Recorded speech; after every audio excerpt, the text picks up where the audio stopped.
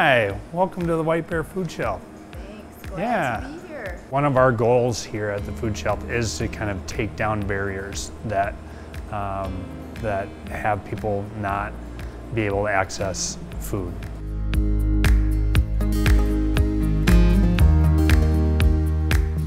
A lot of times the hardest thing for somebody is to walk through that door um, and, and we'll, you'll hear about that, you'll see that of people that are in the parking lot sitting there in their car for half an hour, um, 45 minutes, just debating if they're gonna make that first step towards the food shelf.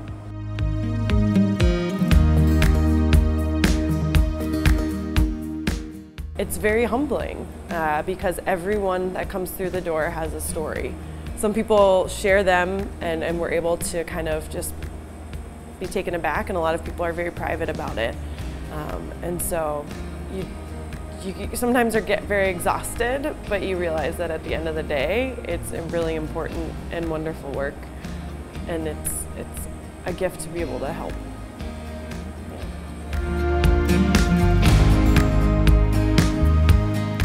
No two stories are the same. Um, every neighbor or family that visits our food shelf, um, everyone's here for a different reason. Um, and so we're here for neighbors and families as long as they need us.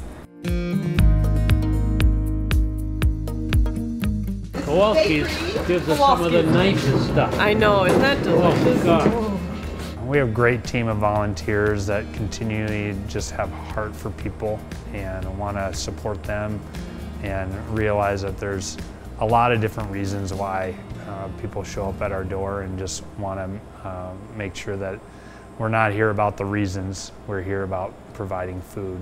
We're again neighbor centric, so uh, it's not necessarily a food shelf user or volunteer. We're all neighbors helping neighbors. Um, so maybe someone's here using the food shelf now because they need the support and later on they're able to give back to the food shelf, whether that's through donations or they're giving of their time as a volunteer.